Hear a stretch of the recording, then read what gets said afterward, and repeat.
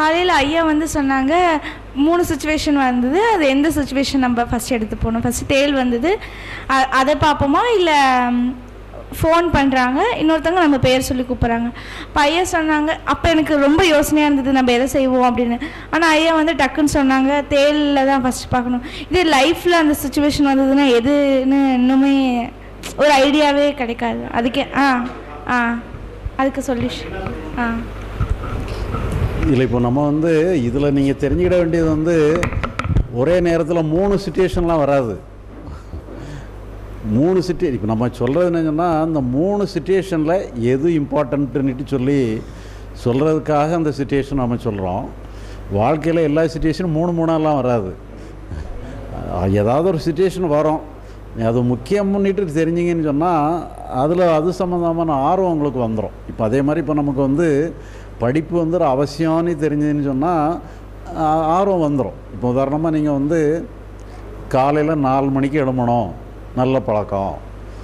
நீட்டு சொல்லி நினச்சி அலாரம் வைக்கிறீங்க. காலையில் நாலு மணிக்கு கரெக்டாக அலாரம் அடிக்குது. என்ன தோணும்? சரி நாளைக்கு எழுப்பிவிடும் இன்றைக்கி வேண்டாம். நீ சொல்லி அதை ஆஃப் பண்ணிடுவோம் ஏன்னு சொல்லி சொன்னால் நமக்கு வந்து ஒரு நல்ல பழக்கம்னு சொல்லி நம்ம நினைக்கிறோம். இருந்தாலும் அந்த நேரத்தில் நமக்கு வந்து அதில் ரொம்ப ஒன்றும் ஆர்வம் இல்லை. முன்ன படுக்கும்போது ஆர்வமாக இருந்தது. அலாரம் அடிக்கும்போது நமக்கு ஒன்றும் ஆர்வம் இல்லை. அப்போ அது இம்பார்ட்டன்ஸ் இல்லைன்னு உடனே நம்ம அதை ஆஃப் பண்ணிடுறோம்.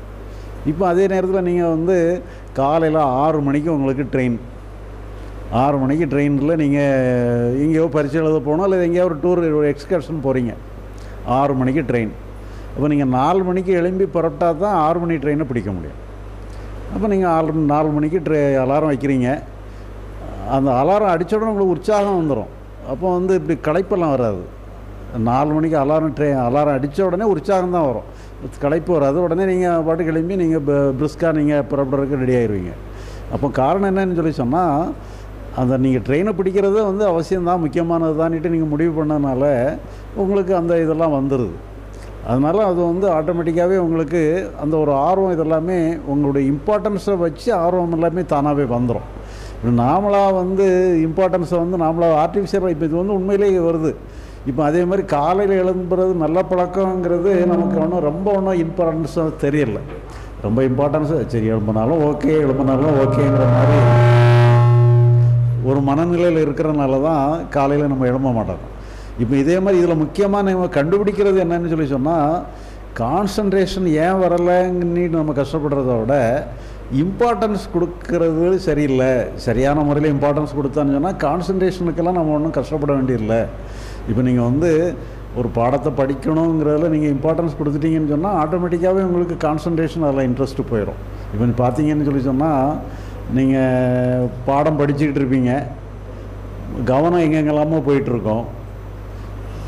இப்போ பரீட்சைக்கு முந்தின நாள் பாடத்தை எடுத்து படிக்கிறீங்க. அப்படி கவனம் எங்கெங்கெல்லாமோ போகவா செய்யுது? அப்போ ஒரு சீரியஸ்னஸ் வந்துடுது ஏன்னா நாளைக்கு நம்ம இப்போ படித்தா தான் நாளைக்கு எழுத முடியுங்கும்போது ஒரு எமர்ஜென்சி ஒரு அர்ஜென்சிலாம் வந்துடுது அப்போ ஆட்டோமேட்டிக்காக கவனம் வந்து அதில் ஈடுபாடாயிருது அப்போ இதில் வந்து நீங்கள் கவனத்தை வந்து கவனம் வரலையே வரலையேன்னு சொல்லி நம்ம இது பண்ணும் பொழுது அப்போ நமக்கு என்ன ஆயிருங்கன்னா நமக்கு திருப்பி திருப்பி கவனம் வரலையே கவனம் வரலையேன்னுட்டு சொல்லி நம்ம நினைக்க நினைக்க என்ன ஆயிருன்னு சொல்லி சொன்னால் நமக்கே ஒரு தாழ்வு மனப்பான்மை வந்துடும் நிறையா ஒரு மற்றவங்களாம் நல்லா கவனத்தோடு இருப்பாங்க போல் நமக்கு தான் அந்த கவனமே வர மாட்டேங்குதுன்னு சொல்லி ஒரு தாழ்வு மனப்பான்மைலாம் வந்துடும் உண்மையில் அப்படிலாம் கிடையாது. எல்லாருக்குமே ஒரே மாதிரி தான் இருக்குது எனக்கு நல்லா கவனம் வருது அடுத்தவங்களுக்கு கவனம் வருதுன்னு எல்லாம் கிடையாது. எல்லாருக்குமே கவனம் வரும். ஏதோ ஒரு வகையில் நம்ம இம்பார்ட்டன்ஸ் கொடுக்க தவறிட்டோங்கிறது தான் அர்த்தம். அதனால் நீங்கள் இம்பார்ட்டன்ஸ் கொடுக்க அது ஒரு பிரதானமாக எடுத்துட்டிங்கன்னா போதும். இப்போ இந்த இந்த மூணு உதாரணத்தில் நீங்கள் என்ன புரிஞ்சுக்கிடன்னு சொன்னால் எங்கே இம்பார்ட்டன்ஸ் கொடுக்குறீங்களோ அங்கே ஆட்டோமேட்டிக்காக கவனம் போயிடும் நம்ம ஒன்றும் கான்சன்ட்ரேஷனுக்கு ரொம்ப ஒன்றும் சிறப்பு சிரமப்பட வேண்டியதில்லை. நேச்சுரலாகவே கான்சன்ட்ரேஷன் வந்துருங்கிறத புரிஞ்சுக்கிடும் அதனால் நம்ம கவனம் வந்து கான்சன்ட்ரேஷன் இருக்க வேண்டிய அவசியம் இல்லை. ஒரு விஷயத்தை செய்கிறதுல இம்பார்ட்டன்ஸை கொடுத்துட்டா போதும். அதை கற்றுக்கிடுங்க. கான்சன்ட்ரேஷனை கற்றுக்கிடுறத விட ஒரு செயலுக்கு இம்பார்ட்டன்ஸ் கொடுக்குறதுக்கு கற்றுக்கிடுங்க.